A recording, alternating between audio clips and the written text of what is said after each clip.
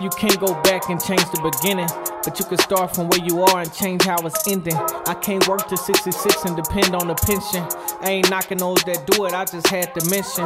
At a point in my life where I need to know intentions. Never been the type to be seeking attention. I can't lie, I'm starting to feel like this my ascension. I'd rather ask for forgiveness than ask for permission. I took a leap of faith and they say it's a piece of cake. If it's really worth having, it ain't no easy way. That's what I've learned as I moved and maneuvered my vision clearer. So my circle is fewer and fewer. All this real shit I be kicking, I'm a substance abuser. No funny business, ain't fucking with humor, I'm dead ass. Yeah, I can't afford to be around no head ass. I got too much to lose, I need ones who are steadfast, determined to win. I would never be dead last, more like a head fast.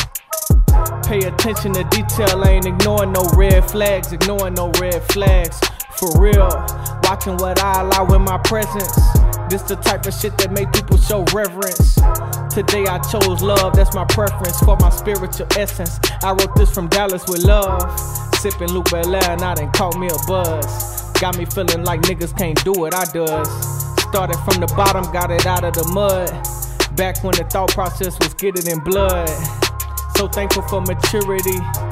I've been removing all my impurities and removing insecurities. Life just been constantly reassuring me that I've been making decisions that's been making me better daily. So who gon' do it better, baby? Say what's on my mind and they say Trevor crazy. I swear that shit that never phased me.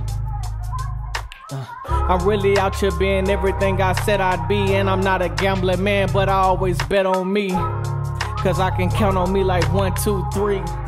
Look, I wrote this from Dallas with love. Sipping Luc Belaire, now done caught me a buzz. Got me feeling like niggas can't do what I does. Started from the bottom, got it out of the mud. Back when the thought process was getting in blood. Yeah.